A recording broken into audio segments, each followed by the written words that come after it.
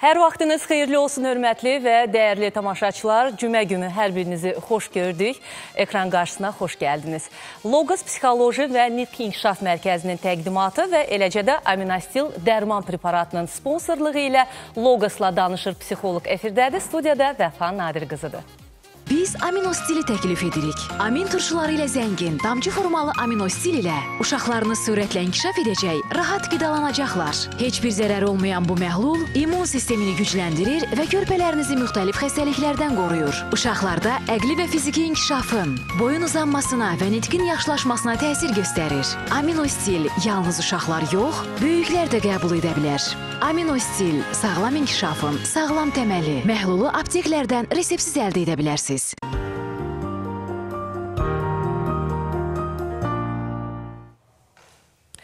Bəli, hörmətli tamaşaçılar, biz başladıq.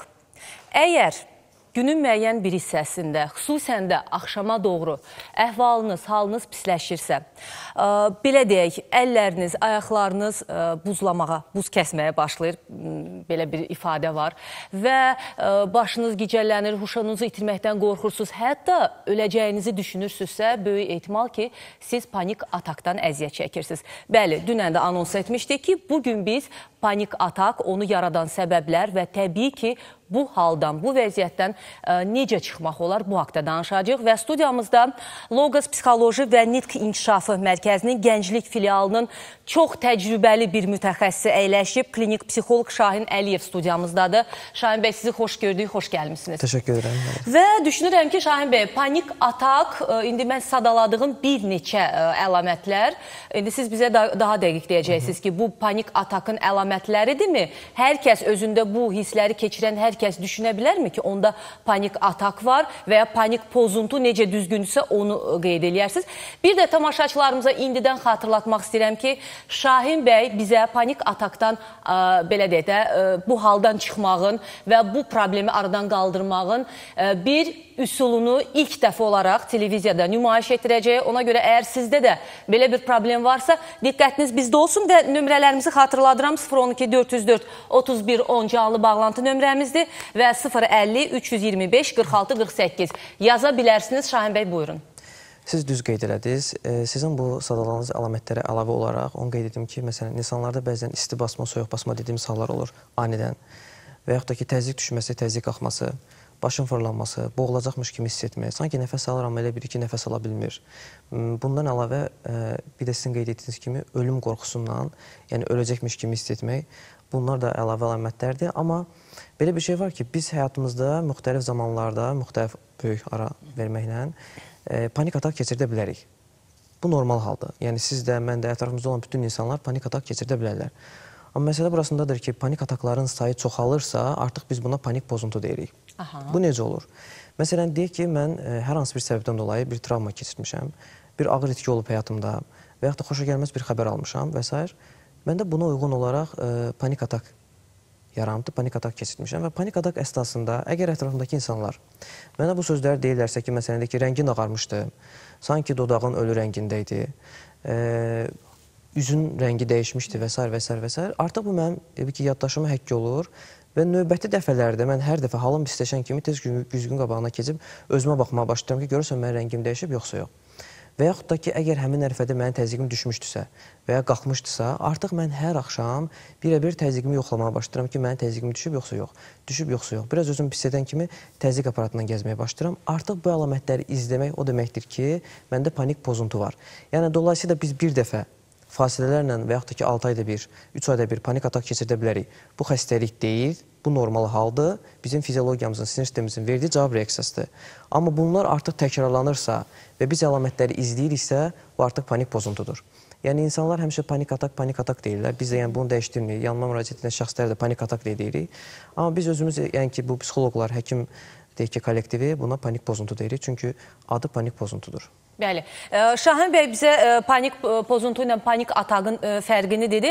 Amma Şahin bəy özünüz də qeyd etdiniz ki, bizim yəni insanların müəyyən hiss və duyğuları var. Hı -hı. Sevincli hiss, yəni sevincli bir xəbər aldıqda sevinirik. Hətta sevinç göz yaşları belə ola bilər. Amma kədərli bir, qorxulu bir xəbər aldıqda normaldır ki, biz həyəcan hissini keçirək. Bəli. Gəlin belə danışaq.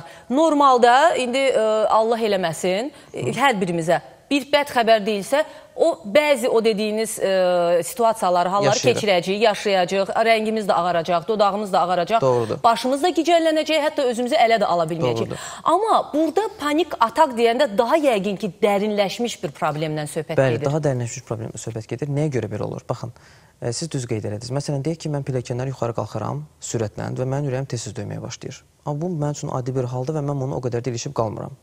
Çünki düşünürəm ki, mənim ürəyim tez-tez qalxıramsa sürətlə döyünməlidir. Yəni mən bu hadisəyə belə bir məna verirəm. Bildiniz demək istəyirəm normal olaraq. Və yaxud da ki, deyək ki, siz sevincli bir xəbər eşidirsiniz, e, üzünüz qızarmağa başlayır, deyək ki, e, və yaxud da ki, ürəyiniz yenə döyünməyə başlayır və s.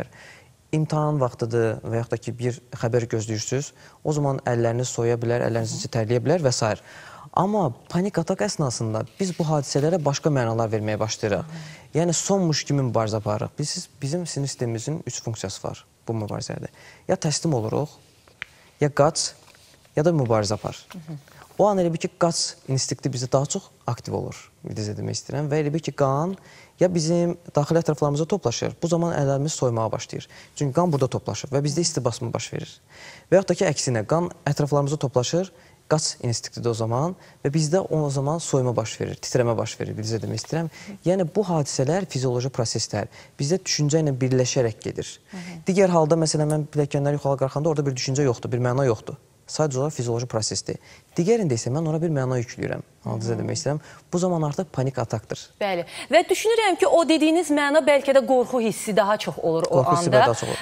Və tamaşaçılarımızın nəzərinə bir daha çatdırım ki, Şahin bəy panik atak e, artıq pozuntu, panik atak varsa, bunun aradan qaldırılmasının e, texnikasını sizə nümayiş etdirəcək və bu ilk dəfə olacaqdır. Odur ki, gözünüz bizdə olsun və canlı yayımda Şahin bəyə suallarınızı da ünvanlaya bilərsiniz. 012 404 31 10 canlı bağlantı nömrəmizdir. 050 325 46 48 WhatsApp nömrəmizdir. Yaza bilərsiniz. Mən sponsorlarımız haqqında məlumatı çatdırım. Ona kimi vaxtınız da olar. Bizimlə əlaqə saxlaya bilərsiniz.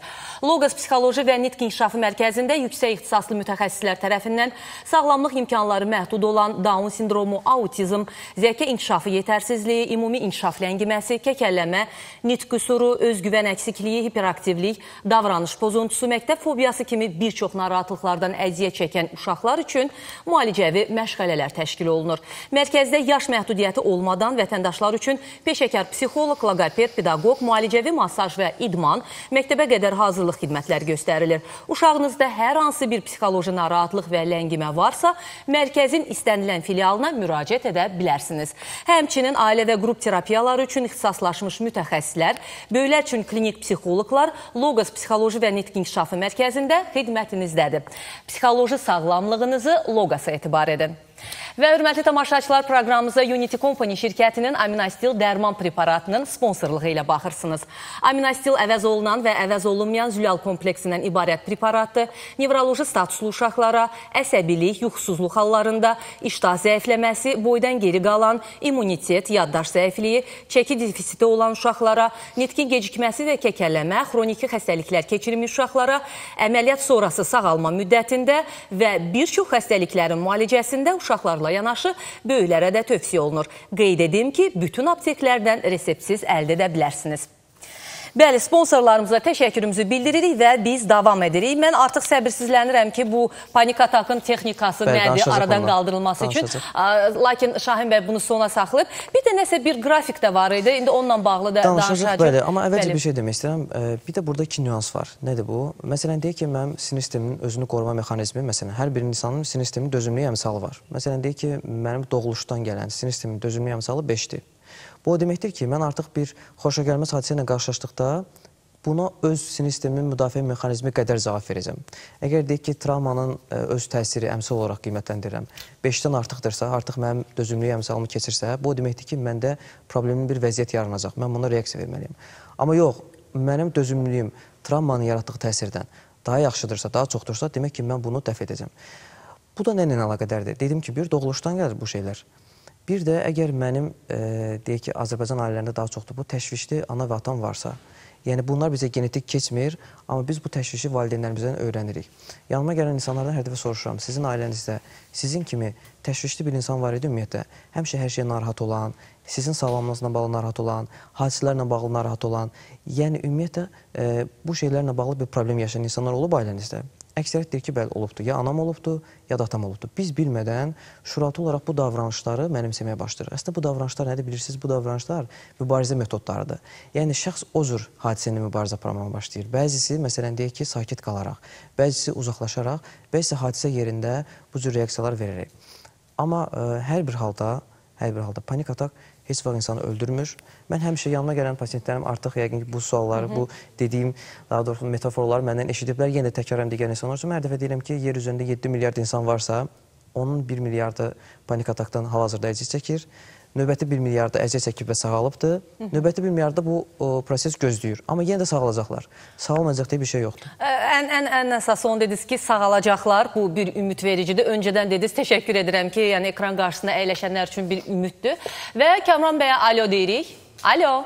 Hər vaxtınız xeyir. Hər vaxtınız xeyir Kamran bəy. Buyurun. Bildiyim qədər sualınız da elə panik atakla bağlıdır. Bəli, bəli. Düzdür, doktorun e, danışıqlarına da diqqətlə izləyirəm. Deyir, sağalacaqlar deməyi çox yaxşıdır. Yalnız mən 6 il deyim. 6 il ərzində bundan əziyyət çəkirəm. Necə oldu ki, bax sizdə necə yarandı? Bu maraqlı olardı bizə də ki, bilək. İnanılmaz heç özüm də bilmədim anidən deyim. Yol maşında, əsasən mən maşında problemim olur.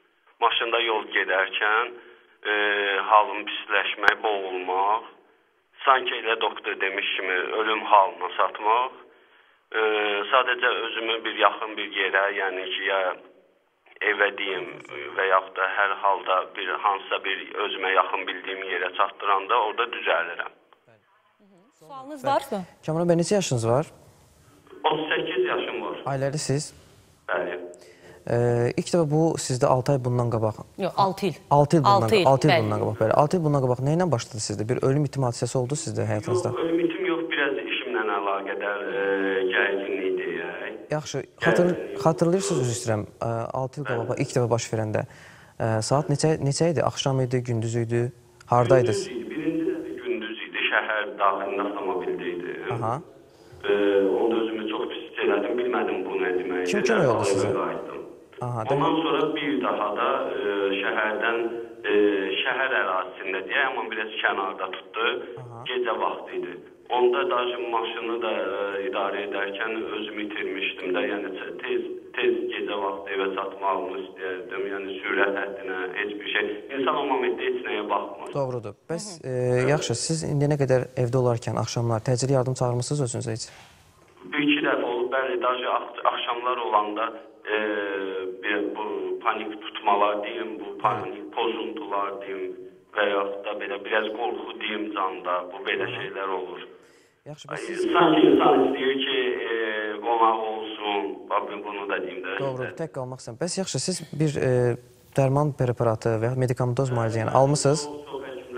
Müraciət eləmişəm Azərbaycanda. Daha bir iki həkimlərin heç adını çəkmirəm. Onlar da deyib ki, bunun müalicəsi yoxdur artıq. Bu belədir, bunu ilə belə yaşayacaq. Yox, qətiyyən elə deyil. Mən Müalicəsi var. təşəkkürümü bildirəm Kamran bəyə. Mən Şahin bəyə başa düşürəm ki, siz bilirəm ki, gələndə pasiyentlər gələndə siz bu cür uzun-uzun onlarla söhbət edib artıq diaqnozu qoymaq üçün bilirəm Bəli. ki, bu çox əhəmilidir. Amma düşünürəm ki, artıq Kamran bəy də özündə panik atakın olduğunu ə, anlayıb, yəqin ki, bu diaqnozu qoyublar. Bir dəqiqə. Ə, Buyurun. Bax bir şey deyəcəm. Adətən belə insanlar ilk dəfə onlara kim kömək edirsə, həmişə onun yanına qaçmaq istəyirlər. Məsələn, deyək ki, məndə panik tut atak yarandı, panik atak keçmişəm. O an mən nə ilə o vəziyyətdən çıxmışamsa, həmişə onu istəyəcəm.